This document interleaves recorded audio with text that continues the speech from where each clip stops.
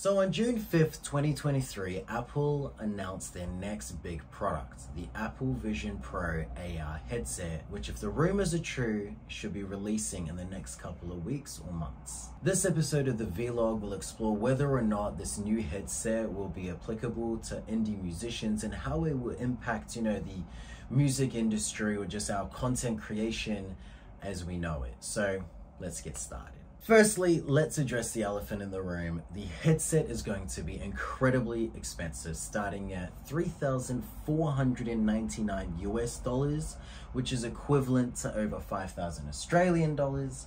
And that is equivalent to about 85 million Vietnamese dong.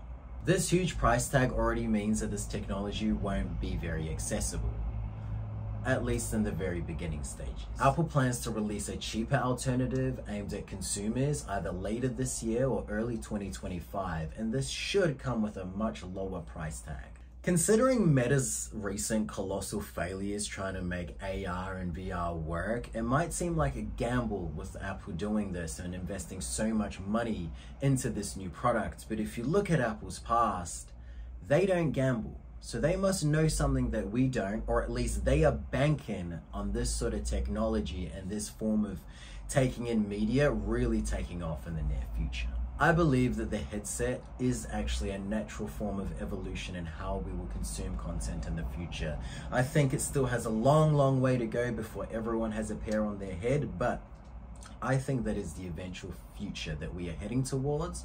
So I think it's important to pay attention to it now as independent artists. Now I'm gonna go over some of the opportunities and threats that this new technology poses to independent artists. Starting with opportunities, the first one is AR live streams with your fans. These are going to be much more immersive than just an IG live because it's going to feel like, you know, you are in a room with your fans actually around you. And, you know, maybe you can live stream a recording sesh and then it will be like it'll be as if you know they're right there in the recording studio with you as you record it i think it will create a new way to break the boundary between fan and artist. Secondly, I think in the future we are going to start seeing more immersive music videos where you are not actually viewing a music video from one static point, but you are able to view the music video from the center of it. We're going to have much more dynamic and I believe three-dimensional music videos out in the future.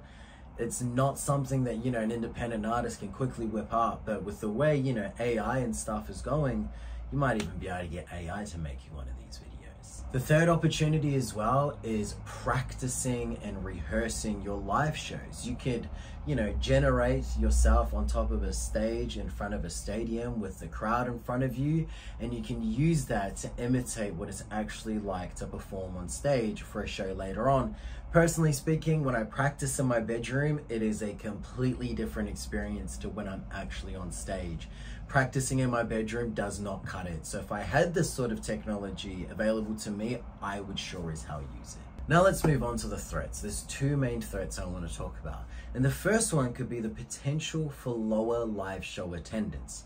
If AR and VR goggles get so good that it's as if you're at the concert even when you're just at home, then I think some people will stop making the effort to get to the music venue because for a lot of people, you know, it's a hassle. You gotta pay for petrol to get there, you gotta find parking, sometimes you gotta pay for that, and you gotta organize your transport back and everything like that. And you know, those things, depending on how far you live from the venue, take up time as well, not to mention queuing and paying for drinks and food and all that stuff. So a lot of consumers in the future may decide that, you know what, I'm just going to pay a portion of the ticket price and just sit at home and watch it on VR goggles instead.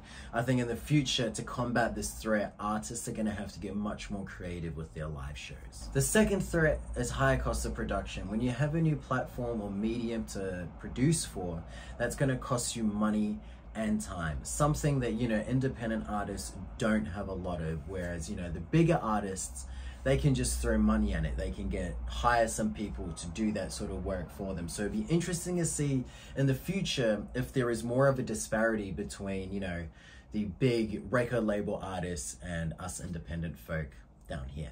I think it's clear to see that virtual reality has a lot of opportunities for musicians, but we also need to stay aware of the threats. Although I ultimately believe that VR will help musicians in their musical journey, I do think it's going to create even more complexity in what already feels like a chaotic path to take.